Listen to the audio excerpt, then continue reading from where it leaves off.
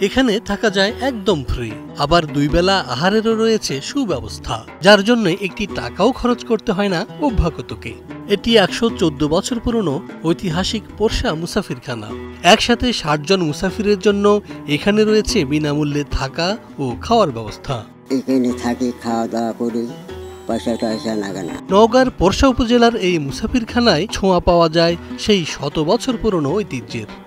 একটা সময় দূর দূরান্তে যেতে হলে মানুষের বাহন বলতে ছিল ঘোড়া কিংবা গরুর গাড়ি। পায়ে হেঁটেই অনেককে পাড়ি দিতে হতো মাইলের পর মাইল।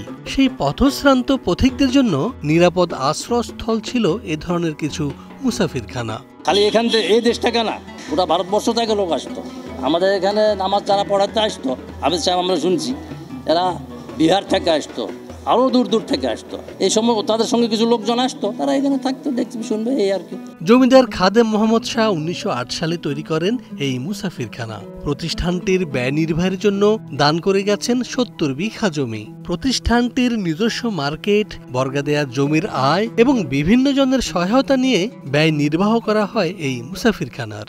কোরসা মোসাফিরখানা উনিশশো আট সালে স্থাপিত হয়। কোরসার আরও অন্যান্য জমিদাররা এই প্রতিষ্ঠানে জমি অফ করেন।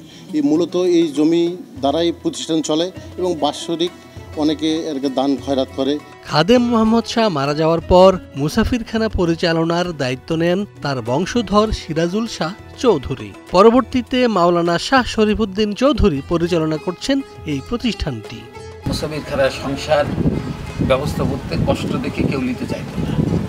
মানে অর্থনৈতিক পরিশ্রম দিতে মানে টাকার পরিশ্রম দিতে হবে, এই জন্যই নিতে চাইতো পুরা এরকম একটা অফিসে যেরকমভাবে খাতা মেনটেন করতো করা হয় মুসাফিরখানায় থাকতে হলে করতে হবে রেজিস্ট্রেশন একজন মুসাফির এখানে থাকতে পারবেন সর্বোচ্চ তিন দিন।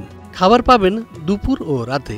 তবে দুপুরের খাবারের জন্য সকাল নয়টা এবং রাতের খাবারের জন্য বিকাল চারটায় জানাতে হবে কর্তৃপক্ষকে। এই মুসাফিরখানায় যে কোনো লোক প্রতি তিন দিন এখানে থাকা এবং খাওয়া দাওয়া করতে পারে। এবং এখানে নাম নাম রেজিস্ট্রেশন হয় নাম রেজিস্ট্রেশন করতে হবে। মুসাফিরখানার উত্তর পাশে রয়েছে বিশাল পুকুর ও শান বাঁধানো ঘাট। যেখানে চাইলে গোসল সারতে পারেন অতিথিরা।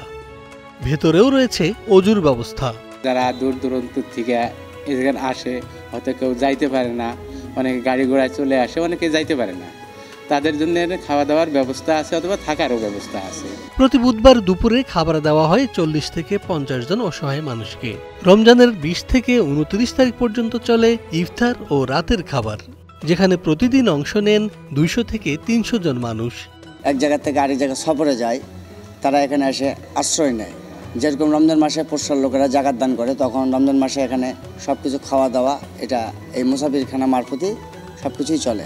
বাংলার আদিকালের ঐতিহ্য এখনও ধরে রেখেছে নওগাঁর এই পোরশা মুসাফিরখানা। বর্তমান সময়ে বিনামূল্যে খাবার পাওয়া গেলেও অসহায়দের জন্য বিনামূল্যে থাকার ব্যবস্থা নেই বললেই চলে। সেখানে এ ধরনের মুসাফিরখানা অনুসরণযোগ্য দৃষ্টান্ত বলে মনে করেন সচেতন মহল। ঢালাইয়ের সেরা প্রিমিয়ার সিমেন্ট